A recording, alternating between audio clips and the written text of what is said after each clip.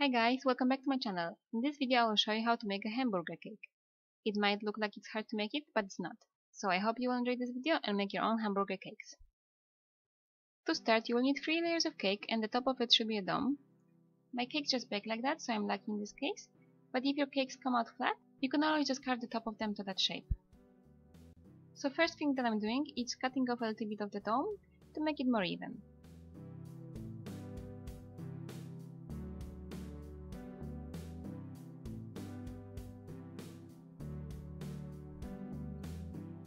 Now take your middle layer and the small cake board and cut off the edge of the cake to make it smaller.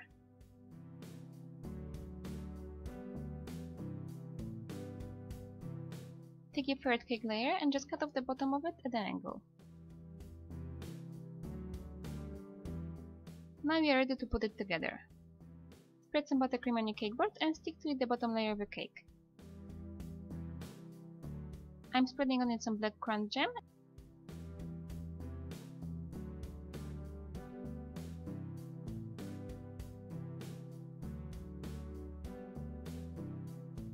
and whipped cream. Make sure to put it only in the middle part of your cake because the middle layer is a little bit smaller than the bottom one.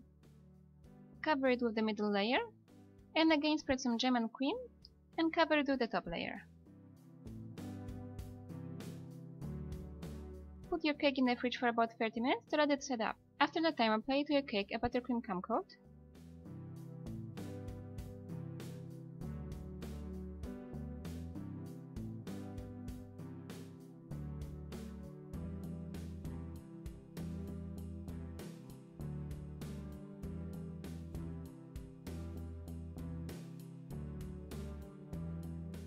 and again put it in the fridge for about 30 minutes. Now apply a second layer of buttercream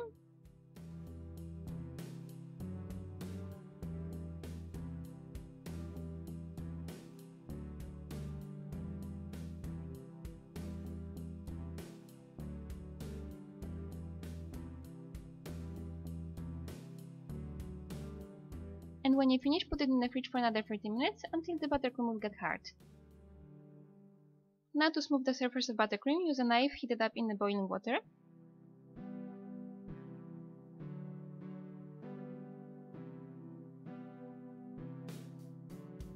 And also clean a cake board with a wet paper towel.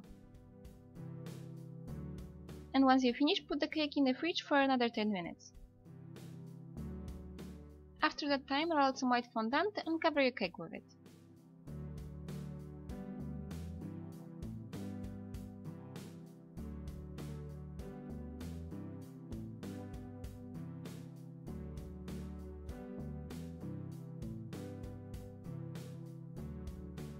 Cut off the excess and use a Dresden tool to push the fondant under the cake at the bottom.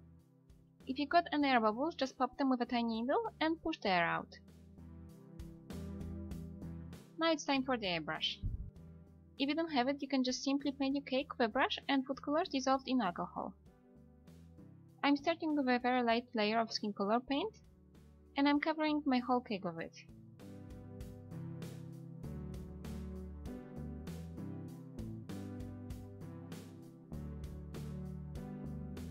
Now I'm using yellow color and it doesn't have to be very even.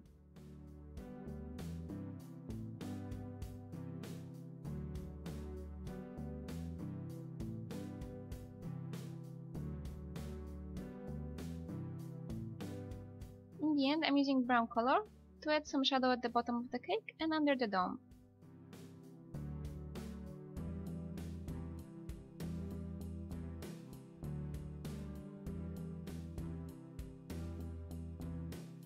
I'm using it also in few random places.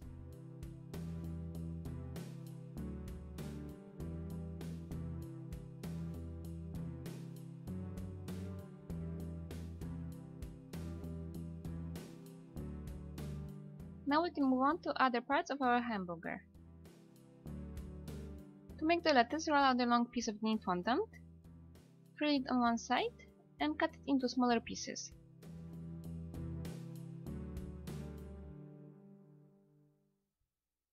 Fold them in your hands and dust them with a darker green dust color.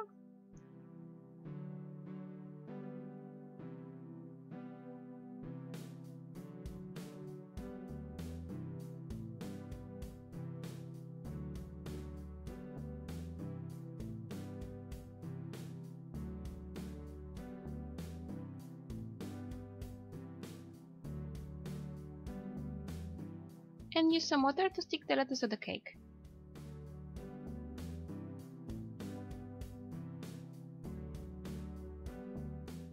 Make the meat, roll along sausage shape from brown fondant.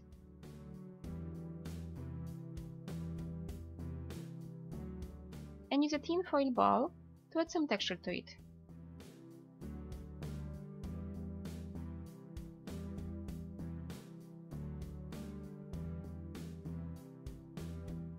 Stick it to the cake and then use a Dresden tool to add a little bit more of the texture to it.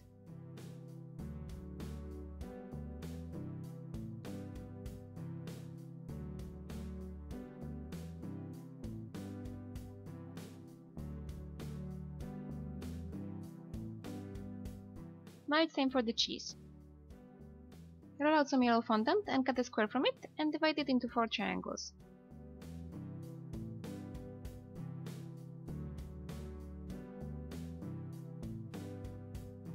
Add some yellow dust color to them and stick them to the cake.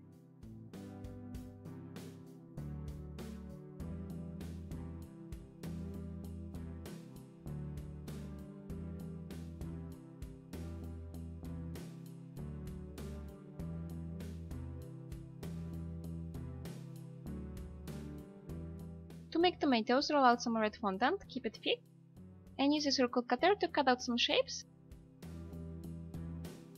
and then cut straight lines to create tomatoes pieces.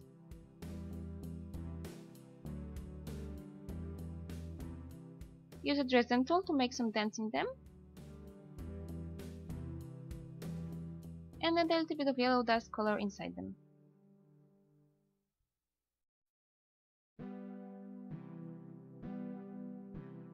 Use water to stick the tomatoes to the cake.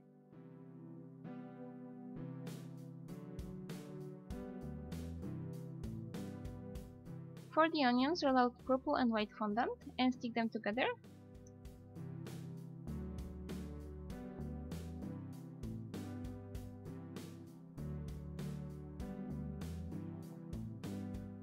And cut it into stripes.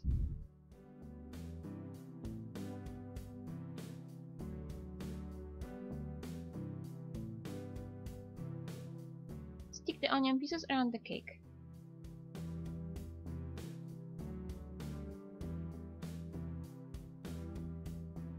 Now it's time for the pickles. Roll out some green fondant and use a circle cutter to cut out some shapes from it. And cut straight lines on them.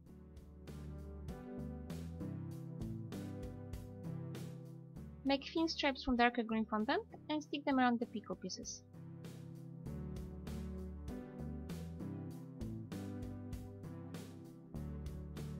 Mark some dents in them using the other side of small brush and add some yellow dust to them. Stick the pickles to your cake.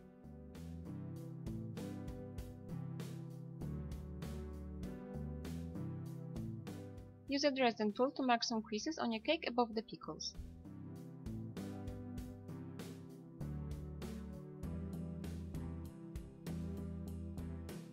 Now make tiny cones from very light brown fondant to create sesame seeds and stick them to the top of your cake. In the end, roll out a long piece of white fondant, cut it straight on one side, add some water to the cake board and stick the fondant to it. Cut off the excess fondant and add a ribbon around the cake board. I'm using a double-sided tape to do that.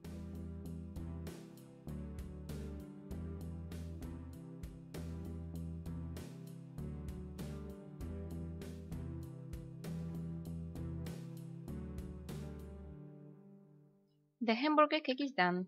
Let me know in the comments how did you like it. And if you will make one too, please share it with me. Thank you for watching this video, I hope you liked it, and don't forget to subscribe to my channel for more videos like that. If you would like to see how to make a giant ice cream cake, click on a picture in the top right corner.